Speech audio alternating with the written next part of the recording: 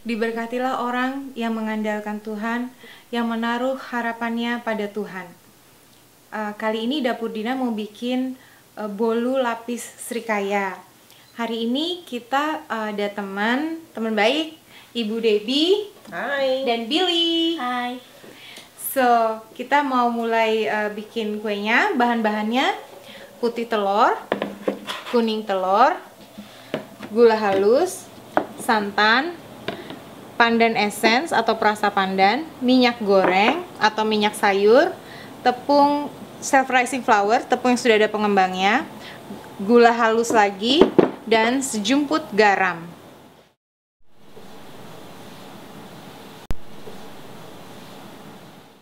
Pertama-tama kita kocok dulu putih telurnya sampai dia tuh benar-benar uh, berbusa. Kalau udah mulai berbusa, kita akan masukin Billy akan bantu Tante Dina ya, masukin uh, gulanya dikit-dikit Bi ya. Ketika udah mulai berbusa, kita kocok sampai benar-benar putih, pucat, kaku. Ya, kira-kira 7 menit, 7 10 menit ya.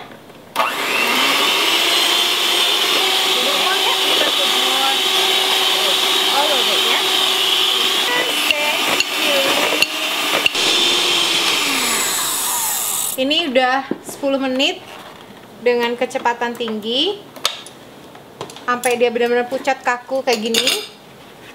Dibalik dia nggak akan jatuh. Tandanya udah cantik, siap ya. Uh, sekarang kita mau kocok kuning telurnya dengan sisa gula halusnya tadi sekalian aja.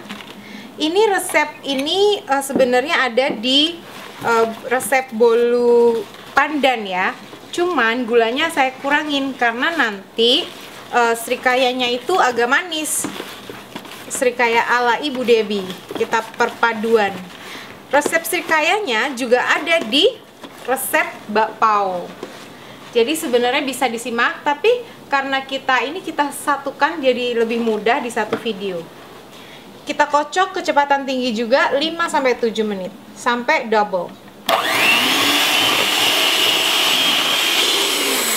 Oke, warnanya udah keput warnanya udah berubah pucat kayak gini, udah double. Terus sekarang kita uh, campur santan sama ini bisa tolong Bi ya. Oh, minyak sayurnya. Ya. Yeah. You can put now. Sama a few drops of this. Beberapa tetes dari pandannya. Billy bisa kocok ya. Ya. Now can you Oke, Bi. Sekarang Bi masukin sini ya, pelan-pelan sampai semuanya habis ya.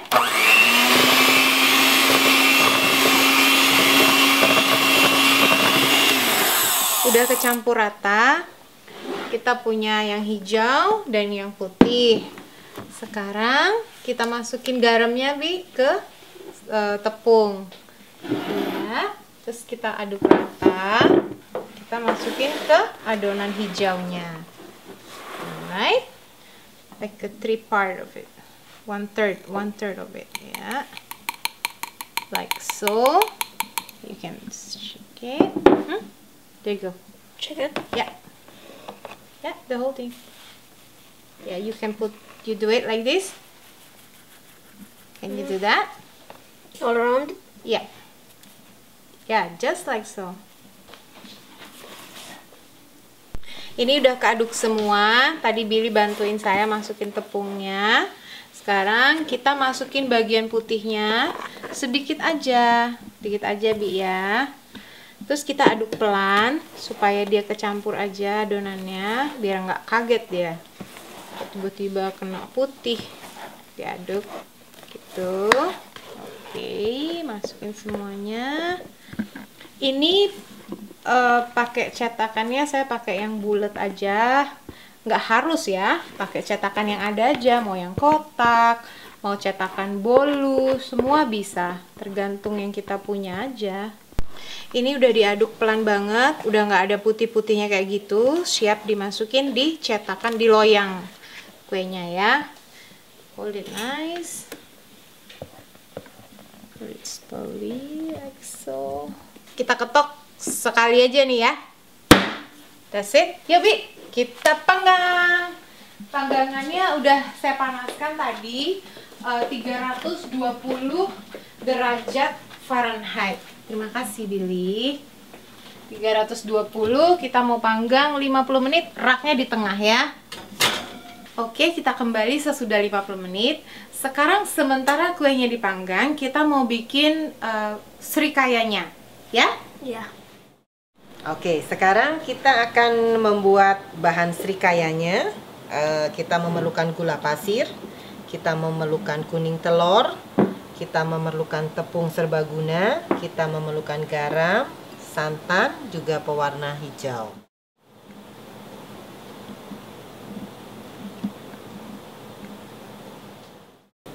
Per- yang pertama kita akan memasukkan eh, tepung serbaguna kita ke dalam santan.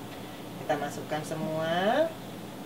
Hal ini saya lakukan supaya nanti eh, yang kita, adonan yang kita buat itu tidak eh, ber- berbiji-biji. Sekarang kita akan masukkan kuning telur kita ke dalam panci. Kita masukkan gula. Kita aduk. Kita masukkan santan sedikit demi sedikit. Kita masukkan garam. Kita putar api kita di medium dulu di angka 5 Karena saya nggak biasa pakai takaran, jadi biasanya saya aduk aja, saya kira-kira sendiri gitu. Oke. Kita aduk. Sementara Bu Debi masih berkutat dengan Srikaya, ini 24 menit lagi bolunya matang. Tidak boleh dibuka pintunya, bisa dilihat dari luar. Udah mulai naik, cantik-cantik. Sekarang kita lihat srikaya kita sudah mulai mengental. Nih, bagus sekali. Nanti kita akan melihat dia meletup. Lihat, meletup ya. Nah, ini berarti adonan kita udah matang. Sudah matang begini kita matikan. Udah 50 menit. Ini Srikayanya udah jadi, udah siap. Saya belum matiin ovennya, kita mau pastiin dulu dia udah bener-bener matang. Tusuk di tengah, ya, tidak lengket, artinya sudah matang. Ini udah beberapa menit tadi, udah mulai dingin, belum dingin banget sih. Eh, sebenarnya idealnya nunggu sampai dingin sih dipotongnya, dikeluarin. Tapi ini udah nggak sabar aja. Oke, ini dengan alat yang seadanya, benar-benar seadanya, kita berjuang dengan ini, dengan ini, dengan ini. Berdua kita berjuang jadi juga tiga layer ya, Bu Debi. Sip. Sekarang kita mau oles. Ini bagian bawahnya. Ini atasnya, paling atas nanti, ini tengahnya. Kasih aja dulu, kita bisa bagi dua. Iya, kayaknya cukup deh Iya. buat bagi dua. Pas. Wow, good, Bi. Yang bagian keduanya pastiin dia ini. Kita poles yang kedua. Ini udah dipoles sama Bu Debi dua tumpuk. Kita tutup yang terakhir. Kubahnya. Terus kita akan Sip. tunggu dingin. Serikayanya tuh eh, semakin dingin dia akan semakin mengeras ya. Terus baru kita akan potong. Kenapa Apa dong, you Bi? say, Bi? It's okay, Bi. Don't You say something. Moment of truth. Kita lihat isinya ya. Billy mau cobain kan, Bi? Iya. Seberapa nih Bi maunya? Satu, dua, tiga, tada! Iya. Lihat daunnya. Kayak gitu. Dulu. Oke. Whoop. Oke Billy, I give you the honor to try this cake. Hmm. Coba Billy rasain ya. How is it, Bi?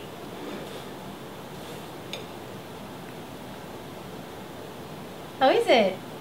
Hmm, this is really good. Wow. Ayo Bu Debi, kita Mari sekarang. kita coba.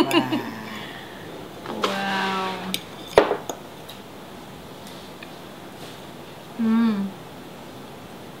Oh iya, Hmm, nggak terlalu manis kok ya. perpaduannya gurih, Mhm. manis, ada santannya, jadi gurih. Sip. Dicoba ya.